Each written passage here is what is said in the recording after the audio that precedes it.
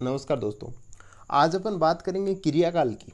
ठीक है, क्रियाकाल की बात करेंगे जिसको कहीं कहीं अपन देखते हैं, इसको सट क्रियाकाल के नाम से भी लिखा रहता है या फिर बोलते हैं अपन। ठीक है तो ये जो क्रियाकाल है एक ऐसा टॉपिक है जो हर बार जो है पेपर में, हर साल के पेपर्स में देखने को मिल जाता है। है ना? तो काफ़ी इंपॉर्टेंट हो जाता है ये एग्ज़ाम पॉइंट ऑफ़ व्यू से। है ना? बाकी कॉमन सब्जेक्ट कॉमन जो टॉपिक होते हैं, वो तो खूब सारे होते हैं, लेकिन एग्ज़ाम में भी आए, उसमें से एक है, और भी हैं कई, उनकी बात करेंगे अपन। तो इसमें अगर देखें अपन B M S first year में किस हिसाब से इंपॉर्टेंट है तो ये B M S first first year के पेपर्स में, क्रिया शरीर के पेपर में जो है, ये पूछा जाता है क्रियाकाल, ठीक है? सट क्रियाकाल जनरली पूछ लेते हैं सेकेंड ईयर में बात करें तो चरक संहिता में इसका उल्लेख देखने को अपने को मिल जाता है। तीसरी अगर अपन बात करें तो ये जो है, स्वस्थ वृत्त में जो है विशेष तौर पे इसमें क्वेश्चन देखने को मिल जाते हैं। ठीक है? चौथा, अगर बात करें फाइनल ईयर की तो उसमें काय चिकित्सा में जो है, क्रियाकाल को बखूबी एज ए चैप्टर दे रखा है। ठीक है? तो क्रियाकाल देखा जाए तो काफ़ी हद तक इम्पोर्टेंट हो जाता है। तो अपन यहाँ पे बात करेंगे तो अभी तो बेसिक देखेंगे, इसके बाद अपन एक एक करके देखेंगे, है ना? उसकी जो स्टेज स्टेज होती हैं छः स्टेज होती हैं, उनको एक एक करके अपन बाद में देख लेंगे। ठीक है? तो ये इसमें आप फोर्थ ईयर तक कोई भी स्टूडेंट है तो कोई दिक्कत नहीं है, आराम से पूरा समझ में आ जाएगा। जी हाँ तो सबसे पहले अगर आप बात करें क्रिया काल के शब्द का क्या मतलब है तो अपन देखें सबसे पहले क्रिया। तो क्रिया का मतलब होता है चिकित्सा। तो यहाँ पे क्रिया से मतलब ये है कि जैसे कोई डॉक्टर है तो उसकी क्रिया क्या रहेगी? तो चिकित्सा करना रहेगा। तो इसलिए इसका क्रिया से मतलब निकाला है चिकित्सा और काल का मतलब है उचित समय। तो देखें अपन डेफिनेशन देखेंगे तो अपन तीन डेफिनेशन देखेंगे जो अपने को अलग अलग बुक्स में मिल जाती हैं क्रियाकाल की। तो सबसे पहले देखें तो क्रिया, चिकित्सा का जो उचित समय है, उसे क्या कहते हैं? उसे क्रियाकाल कहते हैं। तो क्रियाकाल जो है, चिकित्सा का उचित समय कैसे कह सकते हैं इसको अपने को? क्योंकि क्रियाकाल में होता क्या है कि दोषों की जो कुपित होने की, है ना प्रारंभिक अवस्था रहती है फिर अपन कहें इनिशियल स्टेज होती है। ठीक है? तो मान के चलो, कोई दोष कुपित हो रहा है, रोग उत्पन्न होने ही वाला है, उससे पहले अपने को इनिशियल स्टेज में क्या अपने को पता चल जाए और उसकी अगर अपन चिकित्सा करते हैं तो वो क्या रहेगा, उसका उचित समय रहेगा। तो इसलिए क्रियाकाल का एक डेफिनेशन ये है कि जो चिकित्सा का उचित समय होता है वो। बिल्कुल, दूसरी डेफिनेशन अपन देखेंगे कि विषम या फिर अपन कहें कुपित जो दोष होते हैं, जिस क्रम से रोग उत्पन्न करते हैं, उसे क्या कहते हैं, उसे क्रियाकाल कहते हैं। तो अपन ने देखेंगे अपन कि साहब छः स्टेज इसकी रहेंगी तो छः इसके क्रम रहेंगे तो वो उस क्रम में जो है रोग उत्पन्न कर रहे हैं, या फिर दोषों को जो है वो जो दोष कुपित हो रहे हैं परसर हो रहे हैं फैल रहे हैं तो वो जैसे भी प्रक्रिया चल रही है, वो स्टेज उनको क्रियाकाल बोलते हैं। नेक्स्ट अपन देखेंगे कि दो तीसरी डेफिनेशन है ये, कि दोषों के कुपित होने के बाद तथा रोग की उत्पत्ति से पूर्व, कि रोग अभी जो है वो हुआ नहीं है, और दोष क्या हो गए हैं? कुपित हो गए हैं। ठीक है, कुपित दोष हो चुके हैं। उसके बाद में जो स्थिति है, ठीक है, उसके बाद में क्या दोषों की जो विभिन्न स्थितियाँ होती हैं, ठीक है अलग अलग संचय, प्रकोप, परसर, वो सब होती हैं, उसे क्या कहते हैं, उसे क्रियाकाल कहते हैं। तो ये वही थोड़ी सी मॉडिफाइड डेफिनेशन हो गई, ठीक है। तो ये तीन डेफिनेशन अपने को देखने को मिल जाएँगी। इसके बाद अपन आगे बात करते हैं, महत्व का, अगर देखें अपन, कि क्रियाकाल का साहब महत्व क्या है, क्यों अपन क्रियाकाल को पढ़ रहे हैं। ये भी दो नंबर में क्वेश्चन आ जाता बाकी नहीं देखने को मिलता नहीं है। कि क्रियाकाल के ज्ञान से अपन क्या कर सकते हैं? कुपित दोषों की प्रारंभिक अवस्था में चिकित्सा कर सकते हैं, ठीक है? और उससे क्या होगा? दोष जो है वो शीघ्र शांत हो सकते हैं, ठीक है? तो सबसे पहले बात करें इनिशियल स्टेज में क्या है?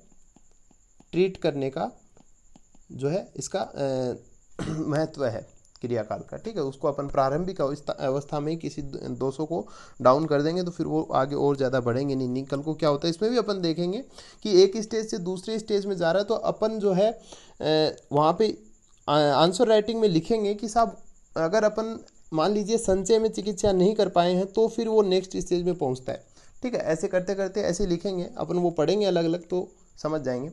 तो ये बात करें क्रियाकाल की कौन कौन सी अवस्थाएँ होती है तो उसके लिए आचार्य सुश्रुत का जो है, ये श्लोक है।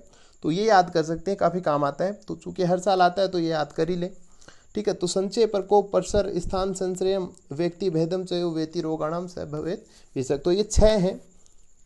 ठीक है तो छः को अपन देखेंगे एक एक करके देखेंगे। बेसिक इसमें पूरा देख लेंगे एक बार कि होते क्या हैं सारे के सारे। तो बात करें, संचय प्रकोप और परसर, ये तीन है ऊपर के। ठीक है, ये तीन है। और ये तीन है। तो ये इनको अपन पढ़ने की अवस्था में देखें या फिर तो ये जो होते हैं, ये विकार उत्पन्न करते हैं। ठीक है? और ये जो होते हैं, ये रोग उत्पन्न करते हैं।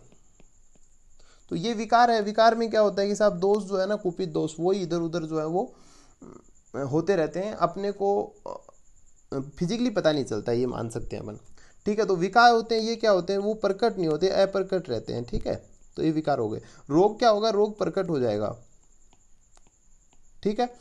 बेसिकली रोग प्रकट नहीं होगा, उसके पूर्व रूप वगैरह, है ना? वो सब प्रकट हो जाएँगे। तो अपन देखेंगे कैसे पूर्व रूप वगैरह क्या है। तो अपन देखते हैं थोड़ा थोड़ा कि संचय क्या होता है, प्रकोप क्या होता है, परसर क्या होते हैं। तो ये चीज़ें अपन देख लेते हैं और उसके बाद अपन एक एक करके पढ़ेंगे इनको। ठीक है? तो सबसे पहले अपन देखें संचय को। ठीक है? संचय। संचय का मतलब धन संचय करना, इकट्ठा करना। तो उसी प्रकार क्या होता है कि दोष जो है, इकट्ठे हो जाते हैं या फिर अपन कहें कि अपने स्थान पर क्या होते हैं दोषों का जो है बढ़ जाना दोष बढ़ जाते हैं, ठीक है? तो ये सिंपली संचय होता है। संचय के बाद में दोष क्या एक जगह पे बढ़ने लग गए हैं तो वो बढ़ने के बाद में इधर उधर बाहर जाने लगेंगे, ठीक है?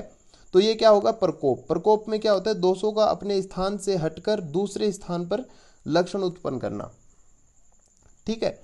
तो वो दोष जो है इधर उधर जाएँगे तो वो अपने लक्षण वहीं पे उत्पन्न करेंगे, ठीक है?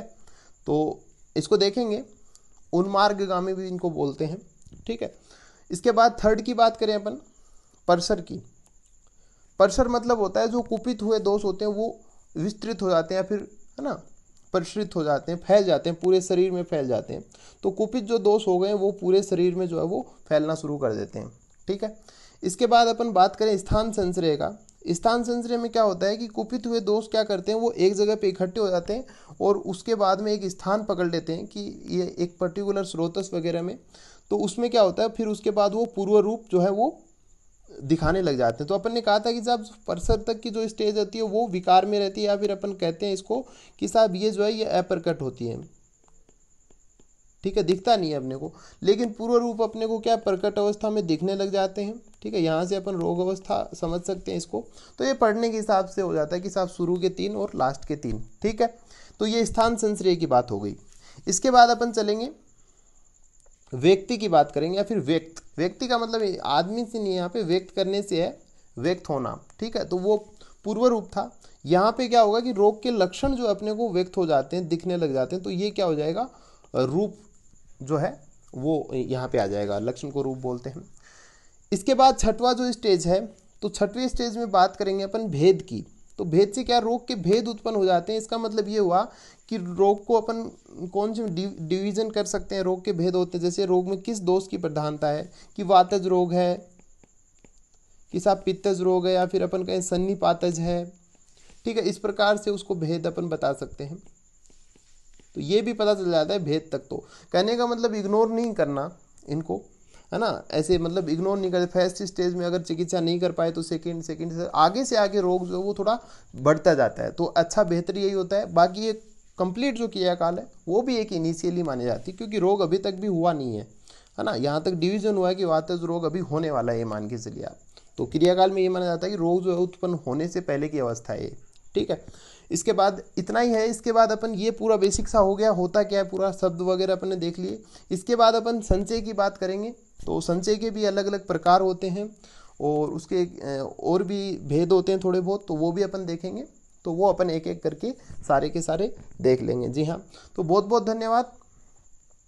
बाकी आप जुड़ सकते हो, आप, है ना और प्रतिक्रिया दें आप थोड़ा सा जैसे आपको जैसा भी लगे, आपकी जो फील रहती है अच्छा बुरा जो भी हो, कोई दिक्कत नहीं है तो वो आप प्रतिक्रिया ज़रूर दें, और क्रियाकाल वगैरह का अभी मैंने ये वेबसाइट पे आप जाके देखोगे तो वहाँ पे भी आपको पूरा मटेरियल मिल जाएगा, लिखा हुआ, वो आप लिख सकते हो, वहाँ से देख सकते हो, है ना अवेलेबल हो जाएँगे नोट्स वगैरह। इंस्टाग्राम में तो आप इंस्टाग्राम पे जाएँ, यहाँ पे भी जुड़ जाएँ, यहाँ पे भी कंटेंट मिलते रहते हैं तो और यहाँ पे अगर आप मुझे मैसेज करते हो तो मैं आपको व्हाट्सअप से जोड़ दूँगा, जिसमें भी थोड़ी बहुत सहायता हो ही जाती है। इसके बाद आप यहाँ फेसबुक पर भी जुड़ सकते हो। तो बहुत बहुत धन्यवाद। और कोई अगर आपके पास में कुछ ऐसा रहे, सुझाव वगैरह कुछ भी, है ना? नेगेटिव पॉजिटिव जैसा भी हो तो वो आप ज़रूर शेयर करें। अच्छा लगता है हमें। मैं आपको ज़रूर कॉन्टेक्ट करूँगा। जी हाँ बहुत बहुत धन्यवाद।